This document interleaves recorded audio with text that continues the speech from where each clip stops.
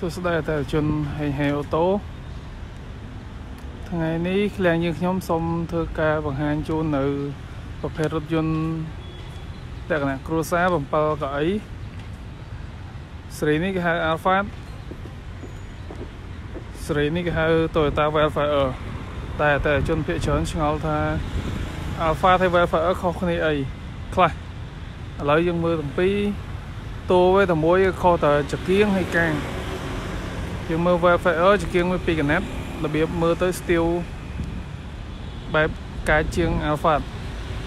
ខាងនោះ Alpha ជាជាងជាប់គ្នាហ្មងហើយកាំងវាអញ្ចឹងហើយចំពោះរូបរាងពីចំហៀងដូចគ្នាទាំងអស់ដូចគ្នា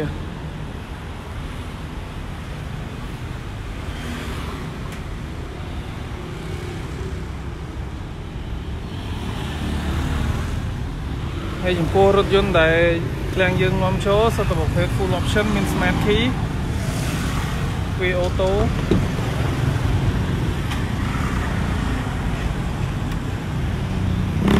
មានសដោកជើងមានប្រឡោះដើរកដាលយើងអាចដើរកដាលទៅជួរទី3បាន មានតុដាក់កែវ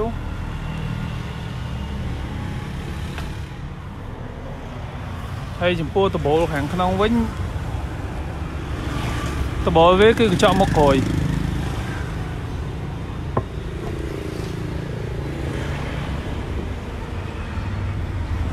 ឥឡូវយើងមកមើល Wildfire ទ្វារអូតូដូចគ្នា Smart Key ដូចគ្នា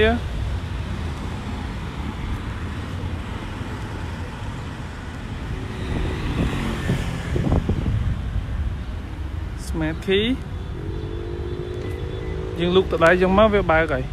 ហើយដល់ពេលដែលយើងឡោះវាកញ្ចក់វាក្តាប់អូតូក្តាប់អូតូចេះហើយពេលយើងចូលឡានយើងលូកដៃមកនេះខាងក្នុងចំពោះផ្នែកខាងតកង់ទាំងពីរគ្រឿងនេះមានសណ្ដោកជើងយើងអាចចុចអញ្ចេះមកវាត្រូវផ្លូវពេលយើងបើកផ្លូវឆ្ងាយវាអត់ចុកជើងហើយទាំងពីរគ្រឿងមានដូចគ្នា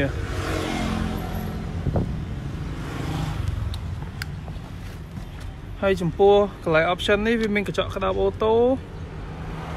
អានេះមានព្រីភ្លើងក្រួយអានេះ sensor ម្ជុំឡានហើយនៅចកោតមាន volume មានបតុងទាំងអស់ហើយប្រអប់លេខអូតូចុចនេះរុញដាក់ឡានរុញបានហើយប្រអប់ដាក់វ៉ាន់ច្រើនឥឡូវយើងបជាប្រឆេះយើងចុចចេះ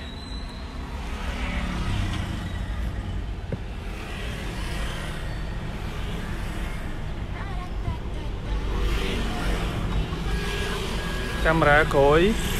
ស៊ីនមានកនុះហើយចំពោះផ្នែកខាងលើវិញ មានប្រអប់ដាក់វ៉ែនតាហើយទ្វារវាបញ្ជាបើកពីនេះបានពីអូតូហ្មងឥឡូវយើងបញ្ជាបើកពីខាងតកង់ហើយកញ្ចក់វិញបើកបានមកក្រោយតែសម្រាប់ទៅប្រភេទ full option ហ្នឹងមិនបើកបាន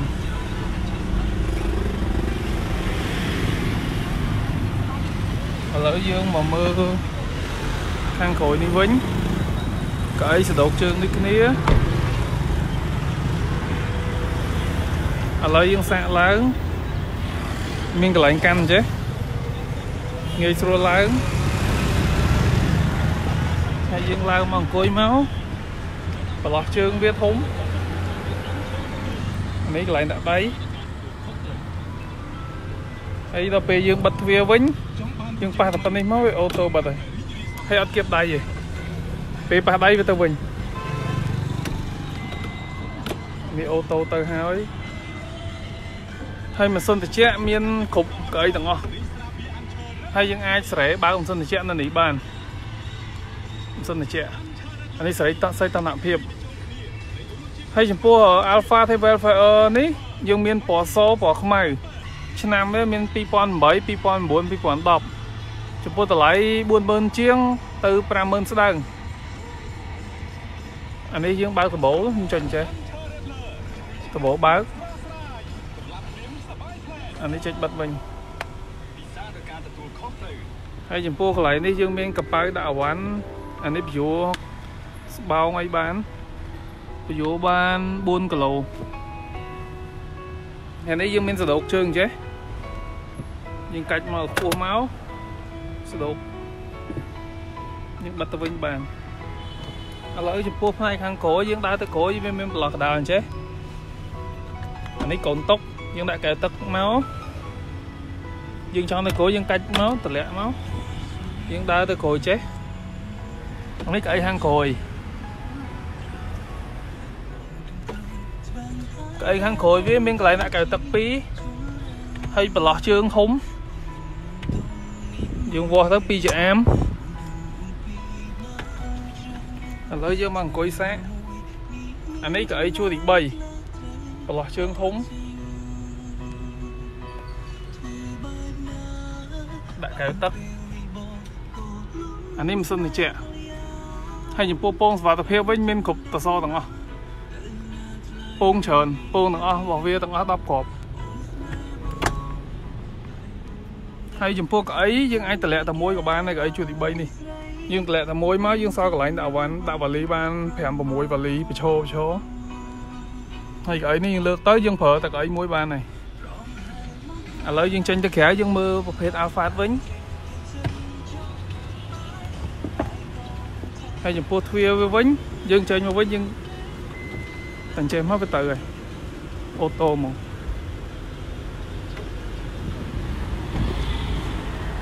ឥឡូវយើងមកមើលប្រភេទ Alpha វិញខាងក្នុងវាដូចគ្នាដូចតែមិញដែរ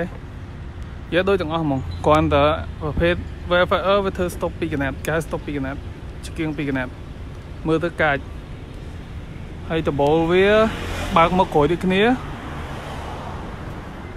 កៅអីចុចដូចគ្នា មានសដោកជើងដូចគ្នាឥឡូវយើងមកប្រឆេះមួយនេះជន់ប្រាំងប្រឆេះមក ហើយឡានដែលយើងមកចូលមានឆ្នាំ2008ទៅ2010ហើយការប្រើប្រាស់50000គីឡូ70000គីឡូ80000គីឡូអីភាគច្រើន50000គីឡូកុងទ័រស៊ីនហ្មងអត់មានតម្លាក់ទេយើងនាំចូលឡានប្រភេទ Grade A ដែលជិះក្រុម100,000គីឡូអត់បុកហើយដបបើកមកក្រោយអានេះមានសេរីវលីមាននេះទាំងអស់នេះកាមេរ៉ាយ៉ែមានកនោះ នេះប្រឡោះដាក់សបុតឡានដាក់សោដាក់អីបានអានេះយើងចុចរុញដាក់ឡានរុញបានដល់ដល់វ៉ាន់ហើយអានេះយើងមានកន្លែងដាក់វ៉ែនតាដូចគ្នាដែរអានេះបើកដបូលក្រួយអាមុខនេះយើងទាញដៃទេហើយអានេះយើងអាចបើកទ្វារក្រួយបានអូតូហ្មង ចុចអញ្ចេះទៅអូតូហើយឥឡូវយើងទៅមើលផ្នែកខាងក្រោយ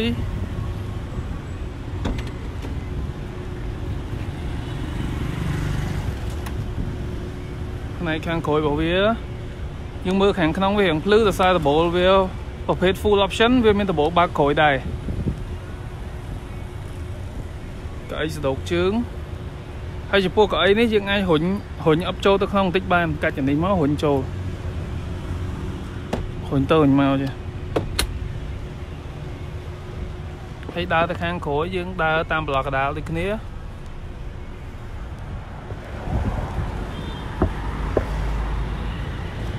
ឡូវយើងមកមើលផ្នែកខាងក្រោយពេលដែលយើងអត់បើកកៅអីទី3ទេកន្លែងក្រោយទលាយ ដាក់អវ៉ាន់បានច្រើនហើយកៅអីនៅពេលដែលយើងអត់ប្រើយើងចងចេះអញ្ចឹងយើងសល់កន្លែងអវ៉ាន់ធំមែនតើ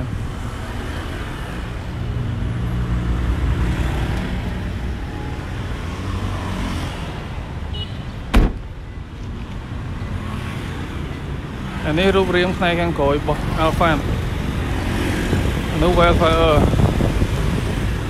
និយាយទៅខុសគ្នា យើងមើលតែចង្គៀងឲ្យ stop វាទៅដឹងហើយតែមានពីកណាត់ចេះ Wildfire ហើយហើយចំពោះខាងក្នុងវិញដូចគ្នាទាំងអស់100%ឥឡូវយើងផលិតវិញយើងចុចផលិតអញ្ចេះយើងបិទទ្វារហើយចំពោះទ្វារយើងអាចបញ្ជាតាមតេឡេបានតេឡេវាមានកន្លែងបញ្ជាចេះ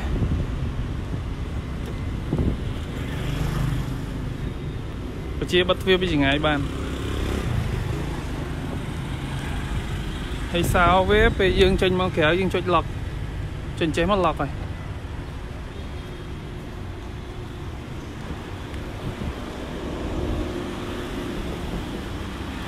អឺ stop ពីចង្គៀងពីកណាត់នេះ Wayfarer ចង្គៀងមូលមួយកណាត់មូលហ្មងអានោះ Alpha តានេះ Wayfarer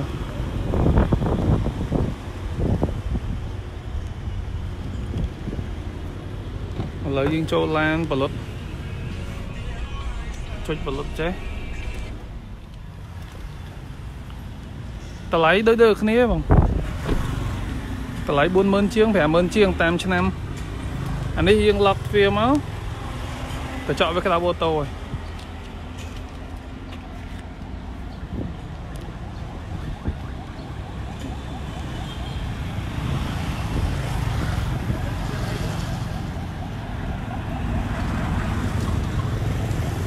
ហើយក្រៅពីពីគ្រឿងនេះយើងមានសេរីថ្មីដែរ019ខ្លាញ់គោក៏មានដែរ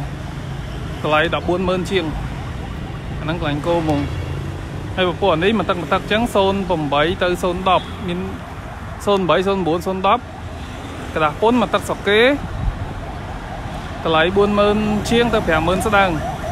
តាមឡានអញ្ចឹងបើសិនអតិជនចាប់អារម្មណ៍អាចអញ្ជើញទូរស័ព្ទមកផ្ទាល់តាមលេខទូរស័ព្ទ012 89 47 29មួយខ្សែទៀត097 77 50000ឬក៏អាច check ក្នុង Google Map នេះ Google Map យើងចូលក្នុង Google Map យើងថែពាក្យហេងហេងអូតូមកនេះហេងហេងអូតូ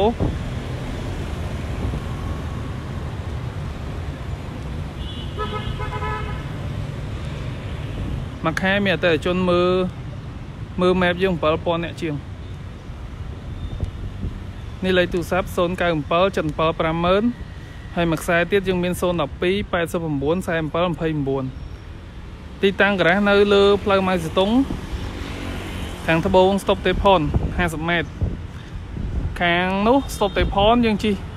មកយើងឃើញលក់ធុងជាប់មួយជួរនេះហើយឃ្លាំងហេហេអូតូនៅជាប់កន្លែងលក់ធុងជាប់ហ្មង ហើយខាងនេះលក់ឡាំង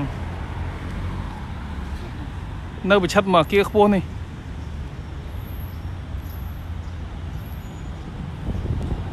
ហើយចំពោះពណ៌ខ្មៅក៏យើងមានដែរពណ៌ខ្មៅយើងមានឆ្នាំ2010ចង់សារតែជនចាប់អារម្មណ៍អាចអញ្ជើញមកមើលផ្ទាល់បានអរគុណ